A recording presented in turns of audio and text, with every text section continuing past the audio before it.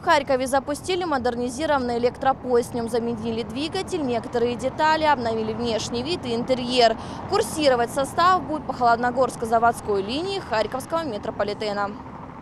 Капитальный ремонт состава, который был изготовлен больше 40 лет назад, провели в электродепо «Салтовское». На обновление вагонов было потрачено почти 53 миллиона гривен. По словам мэра Геннадия Кернеса, покупка нового состава обошлась бы в 200-250 миллионов в зависимости от комплектации. Никто не запрещал нам своими силами делать реконструкцию старых составов. Тем более, что они изжили свои. Пассажиры, проехавшие на модернизированном составе, делятся впечатлениями. Удобно ездиться, лучше, чем старые? Ну, ну, конечно, наверное, красивые.